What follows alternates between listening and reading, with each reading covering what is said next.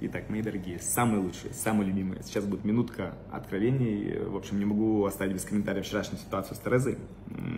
Честно, несмотря на весь негатив, оскорбление, злость в мою сторону, я ей очень благодарен за этот опыт.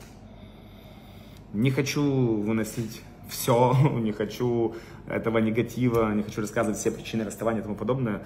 Не понимаю просто ход ее действий сейчас. Потому что когда мы с ней расходились, она достаточно ровно к этому отнеслась. Она сразу же начала принимать ухаживание других мужчин, видеться, общаться, проводить время. А вот сейчас, когда она увидела, что я действительно отпустил, у меня началась своя личная жизнь, ее эго задето, либо э, это все делается для повышения охватов перед продажами ее медитации. Не понимаю.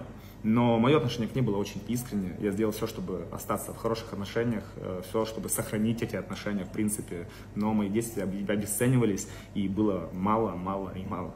В общем, все, что не делается, делается к лучшему. Терес, тебе желаю быть счастливой, удачных тебе продаж, хороших охватов. Э, и научись действительно к людям относиться от всего сердца.